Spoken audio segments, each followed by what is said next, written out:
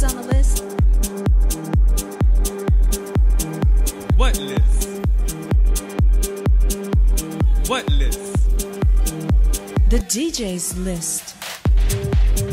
Miss Thing? Miss Thing? There is no guest list tonight. Miss Thing? Miss Thing? Miss Miss Thing? Miss Thing?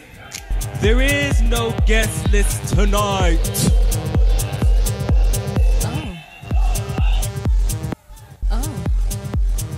Miss Thing? This thing? Miss Thing? Miss Miss Thing?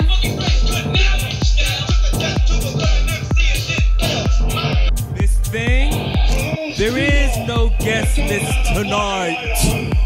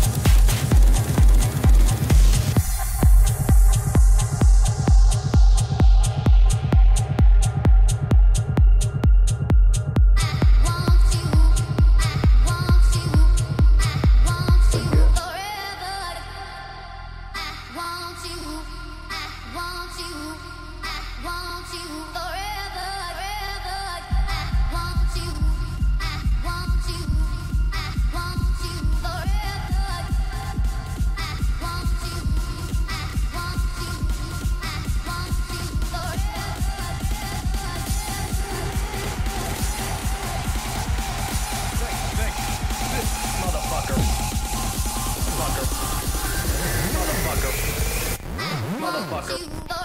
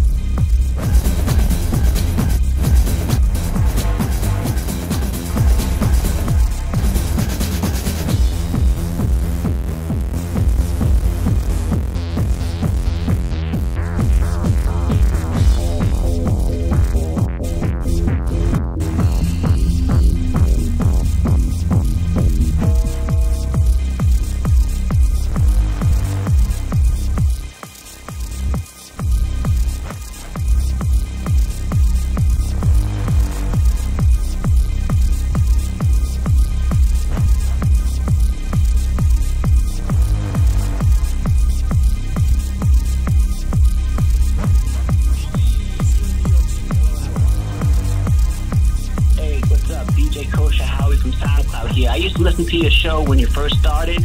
I used to call in a lot, but then all of a sudden you had this uh, screener named Gabby who was uh, who dissed me. Uh, you were talking about aliens, and I wanted to ask you what was the deal about uh, the aliens telling humans that we're not allowed to go on the moon anymore.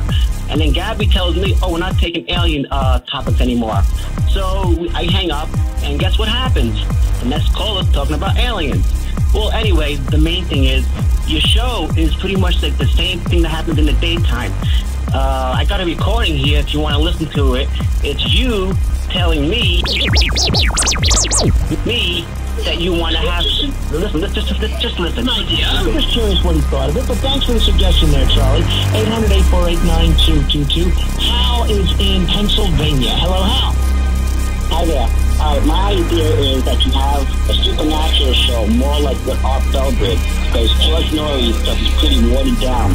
Maybe you even get someone who's even better than Art Bell.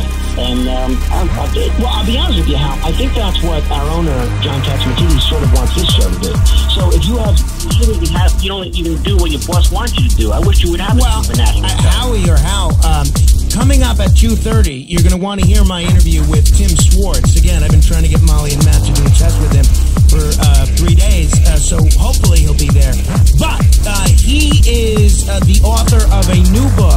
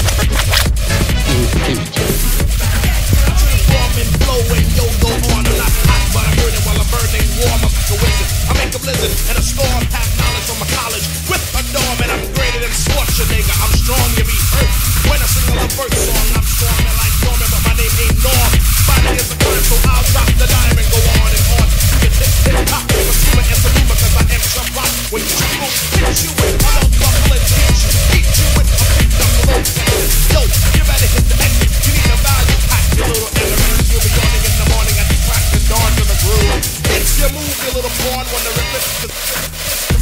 I'll just say checkmate, then move,